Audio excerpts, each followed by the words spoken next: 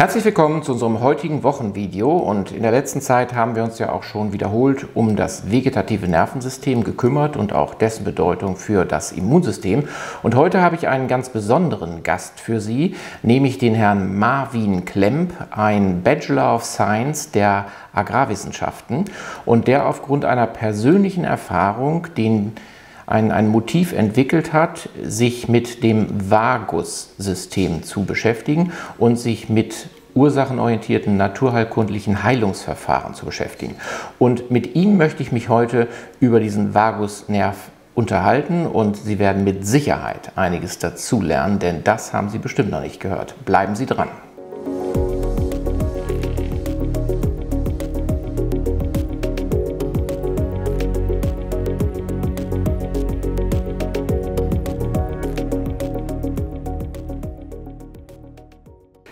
Herr Klemm, vielen Dank, dass Sie heute Gast sind bei mir in meiner Wochensprechstunde in Anführungsstrichen. Und es geht um das vegetative Nervensystem und Sie kennen sich damit besonders gut aus. Und es geht um die Polyvagaltherapie. Also was ist das? Bitte schön, erklären Sie das doch bitte unseren Zuschauern.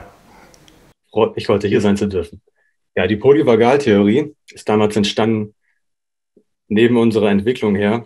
Ähm, es gibt einen vorderen und einen hinteren Vagusast, genauer gesagt einen linken und einen rechten Vagusast, einmal den ventralen, der geht hier vorne lang, der innerviert das ganze Gesicht, die Augen, den Kiefer, die Mimik und den Kehlkopf und die Lunge und den Zwergfell.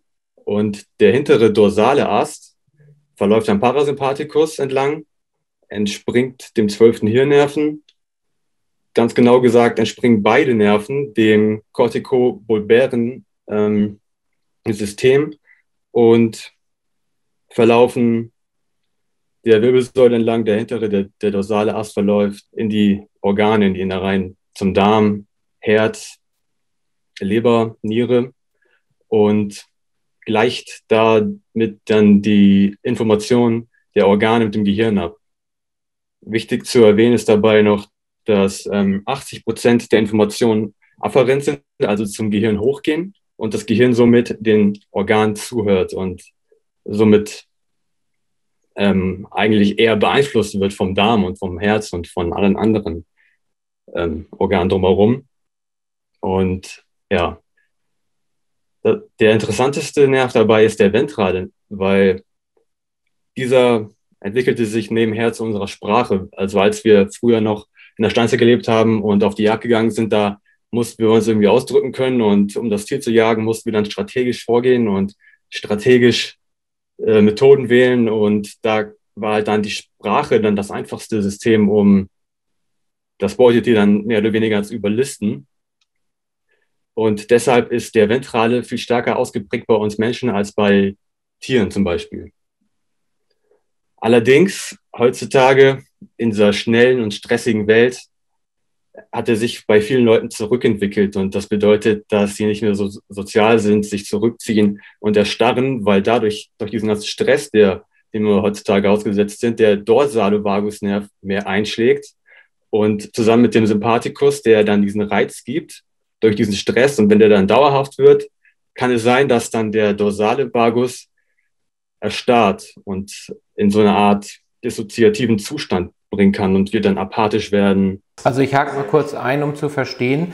Ähm, wir haben also eine Dauerstresssituation, die wir in der Steinzeit so nicht hatten, weil diese Reizüberflutung, wie wir sie heute kennen, gab es seinerzeit nicht. Neben einem kurzen, überschaubaren, stressigen Moment.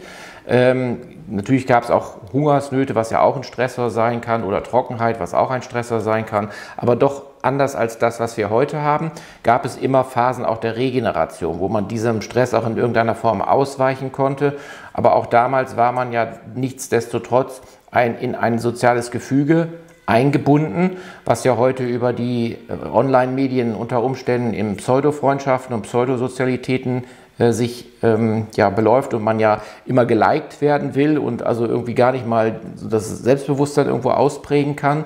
Und das ist, glaube ich, dieser Dauerstress, den wir jetzt heute unterliegen und der ja auch keine Aussicht auf weniger werden hat, ist ja der, man entzieht sich dem ganz gezielt. Und dann kommt es, glaube ich, zu diesen Entwicklungen, die Sie jetzt gerade beschrieben haben. Und äh, ja, vielleicht gehen Sie noch mal mehr ins Detail. Ja, man kann heutzutage leider gar nicht mehr abschalten. Da man halt viel zu viel Fokus ähm, zum Beispiel auf sein Smartphone und auf Social Media legt heutzutage, das menschliche Gehirn ist so also aufgebaut, es braucht die Weite. Also die Augen, die müssen auf den Horizont blicken können und dann schön nach links und rechts schweifen. Das gibt zum Beispiel ähm, einem gewissen Areal im Gehirn eine Art von Ruhe. Aber wir wollen ja wieder zurück zum Vegetativum. Was wir denn wirklich machen können mit dem Vegetativum. Das Vegetativum, es gibt ja die Herzratenvarianzanalyse, damit kann man das objektivieren.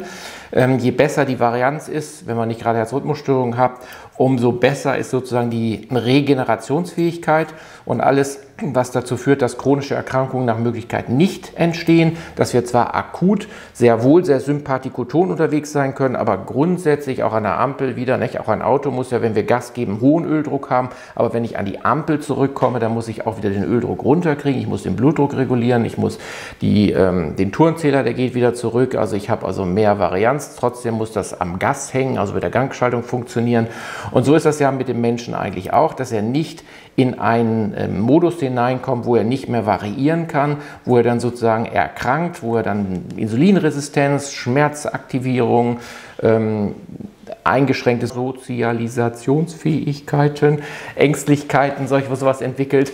Und ähm, da wollen wir ja ein bisschen drüber reden und da würde ich gerne noch mal so Ihre Meinung hören.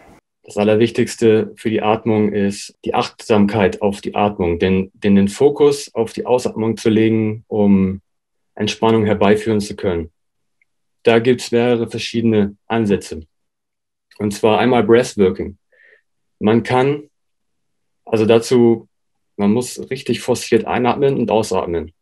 Da gibt es sehr gute Anleitungen auf YouTube. Der, der Kerl heißt Wim Hof, hat sehr gute Atemübungen ich habe die noch mal ein bisschen weiterentwickelt, ähm, da ich einfach gemerkt habe, wie wichtig es ist, wenn man ähm, gesunden Stress provoziert im, im Körper, weil Flachatmung entsteht auch sehr durch ja, ähm, Stress, Suppression des Nervensystems.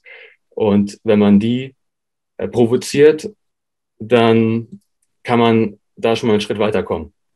Und zwar, das geht einfach so, indem man einfach äh, sehr stark einatmet, ausatmet eine, Minute, eine ganze Minute lang und dann am Ende die Luft anhält, während man schon mal eingeatmet hat und dann die Luft hält in der Lunge und sie dann anhält. Wenn man flachatmig ist und einen überstimulierten dorsalen Vagusnerven hat, dann kommt sehr schnell ja, Stress hoch und der, und der Verstand springt im Dreieck und man kriegt wahrscheinlich tausende von verschiedenen Stimmen.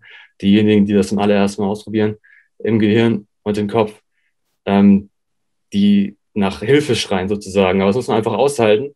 Ja, um nochmal beim Breathworking zu bleiben, man kann auch, nachdem man eine Ausatmung dann gemacht hat, auch mit der einen Hand unter seinen Solarplexus gehen und greift dann in den pulmonaren Plexus und massiert dann da. Das kann den ventralen Vagusnerv auch nochmal stimulieren. Genau, das ist das Allerwichtigste bei, bei der Aktivierung des ventralen Vagus, die Sicherheit und die Geborgenheit. Man kann das auch so machen, indem man sich dann da anfasst und oder sich umarmt und sowas alles, um nochmal ein bisschen mehr Geborgenheit fühlen zu können. Aber wenn man sich in seinen eigenen vier Wänden auffällt und man sich da schon sehr sicher fühlt, dann kann das auch schon völlig ausreichen. Oder wenn man halt gerade jemanden in seiner Nähe hat, der einem Sicherheit gibt und Geborgenheit vermittelt, dann kann das auch schon sehr viel wert sein für diese Übung. Welche Tipps und Tricks haben Sie für unsere Zuschauer noch parat? Also es gab die ganzen letzten Jahre noch die VNS, die Vagusnervstimulation, die war allerdings äh, invasiv und da konnte, also da hat man eine Elektrode unter die Haut gesetzt bekommen, die mit dem Vagusnerven verbunden war und mittels elektrischer Impulse wurde dann der Vagusnerv stimuliert. Das muss man heutzutage nicht mehr machen. Heutzutage gibt es die TVNS, die transkutane Vagusnervstimulation. Da kann man sich einfach bei Amazon zum Beispiel so eine Reizstromklammer bestellen, die an seinen Traktus befestigen. Das ist dieser kleine Knubbel oberhalb des Ohrläppchens im, am Ohr und klebt dann die andere Elektrode auf seinen Nacken zum Beispiel. Und dann halt je nachdem, wie viel man aushält und wie es am angenehmsten ist, kann man dann das Gerät einstellen Gerät nennt sich TENS oder EMS-Gerät. Und da kann man sich dann mit elektrischen Impulsen dann den Vagusnerv mittels dieses Geräts stimulisieren. So, jetzt haben wir ja über die Polyvagaltheorie einiges gehört. Wir wissen so ein bisschen was über die Evolution.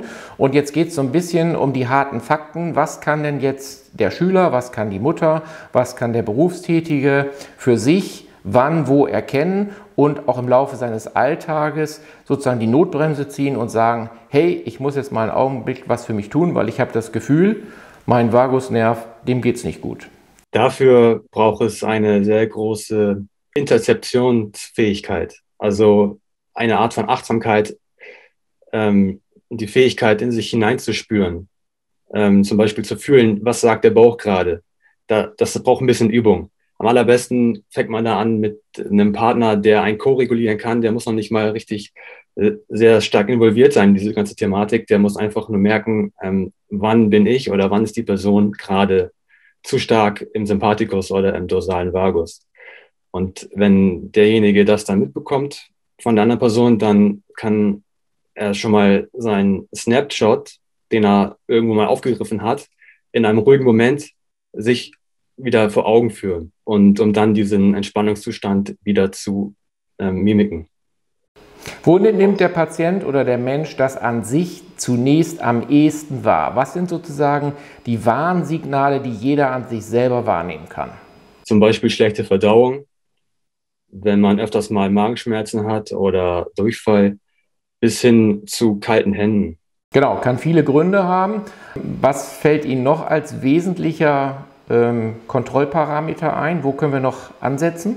Bewegung und Training, besonders Krafttraining zum Beispiel, kann das ganze Nervensystem stimulieren. Natürlich soll man das dann dabei dann auch nicht zu überreizen, das Ganze, weil das kann dann auch dann wieder den Sympathikus und den dorsalen Vagusnerven zu stark aktivieren. Also Bewegung in den Fähigkeiten, die ein jeder hat. Ne? Jeder ist da ein bisschen unterschiedlich. Und Sie hatten eingangs ja das Thema mit der Erziehung und mit der Schule gehabt. Sicher auch in, bei den Steinzeitmenschen gab es auch eine Form von Erziehung. Das sehen wir auch bei den Rudeltieren. Auch da gibt es eine knallharte Hackordnung. Also auch da gibt es, glaube ich, ähm, dass die Form von Erziehung und nicht alles, was wir uns so schön vorstellen, ist da eitel Sonnenschein. Und das war früher sicherlich auch nicht anders. Aber es gab eben immer die Möglichkeit, auch da mal von auszubrechen. Und es gibt eben deutlich mehr Freiräume, die man vielleicht früher hatte mit der Natur, wo man sich eben auch äh, zurückziehen konnte und auch äh, mit der Natur verbunden in irgendeiner Form regenerieren konnte. Das fehlt heute so ein bisschen. Und der Treffpunkt war früher draußen und nicht im Internet. Da hatte man Sonneneinstrahlung, da konnte man Vitamin D bilden, da konnte man äh, frische Luft einatmen, da hat man im Dreck gespielt, da hat man ein gesundes Mikrobiom aufgebaut, da konnte man hin und her laufen, anstatt sich ein ähm, Smartphone-Daumen zuzulegen. Und äh, damals hatte man noch ein Sixpack und nicht äh, Stirnfalten, weil man sich sozusagen Denksportaufgaben gestellt hat. Ähm, das sind die Dinge, die, glaube ich, heute verloren gehen und die wir für das Vegetativum auch brauchen. Ja, Ihr Schlusswort? Ja, mein allergrößtes Anliegen meiner Seite ist, den Leuten das genau zu vermitteln, ihnen praktikable Techniken an die Hand zu geben, die nichts kosten, ihren Vagus zu stimulieren und ihr Nervensystem in Gleichklang zu bringen. Also Sympathikus Parasympathikus sind ja wie Yin und Yang. Und dafür haben Sie ja eine sehr erfolgreiche und große, ich will mal sagen, Blogseite, also auch eine E-Mail-Adresse, auf die wir natürlich hier unten auch äh, verweisen und wo man sich mit diesem Thema dann ganz intensiv bei Ihnen auseinandersetzen kann. Und äh, ich denke, das lohnt sich für die, die sich jetzt hier angesprochen fühlen, da wirklich mal ein bisschen zu suchen und zu gucken. Und äh, ja, vielen Dank für die Zeit, für die wertvollen Informationen. Und äh, ja, liebe Zuschauer, ich hoffe, wir haben etwas vorgetragen, was auch für Sie wieder von Interesse war. Und ich freue mich, wenn Sie nächste Woche wieder dabei sind, wenn es heißt, herzlich willkommen zu meinem Wochenvideo.